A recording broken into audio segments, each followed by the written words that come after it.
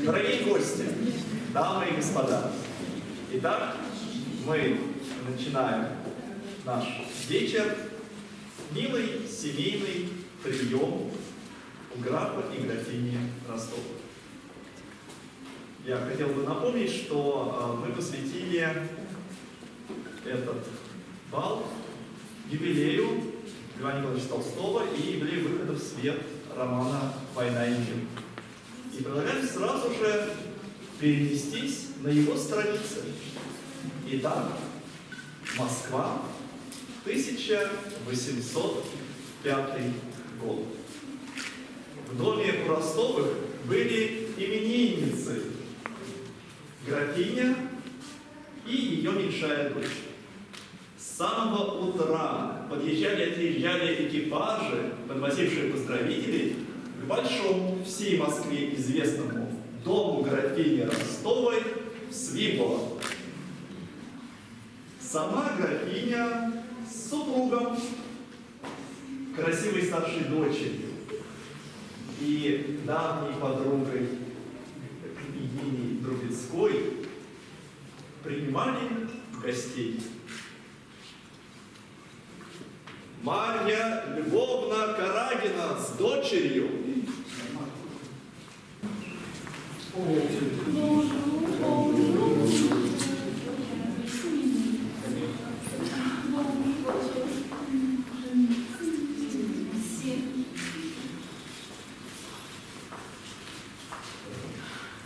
вы о последней выходке Пьера Безуха? Я очень жалею выдвигаться. Здоровье его и так плохо, а теперь это отречение от сына. Это убьет его. Что Пьер с приятелями своими, Бог знает, что делает. И наказали их, конечно. Да, Да вы что, наказали? Наказали. Одного разжаловали солдаты, а Пьера, Пьер, того вызвали из Петербурга в Москву. Да что бишь они сделали? Представляете себе? Можете себе представить? Они э, где-то втроем достали медведя, посадили медведя с собой в карету и поехали как висом. Прибежала полиция их унимать. Они поймали квартального, привязали его спина спиной к медведю и пустили в мойку.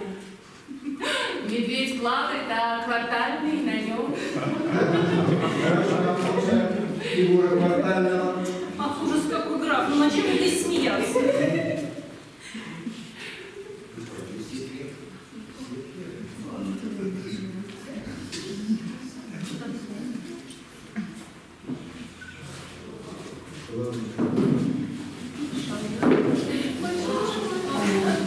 Смотря на Зони жизни, уже Маше, я там куплю на все свое время. Или я же все еще балуешь ее. Боже мой, с именинами. Какое прелестное дитя. Видите? Кукла! Ой, Какое прелестное существо ваше меньшая. Порох, порох. порох, порох, вся в меня. Вся в меня. может быть, я балую ее, конечно, но право это лучше. Я старшую держала строго. Да, меня совсем иначе. Э, Господа, господа, гости уже собрались. Э, Может быть, пора и танцы начать. Дмитрий Иванович. Слушай, садись.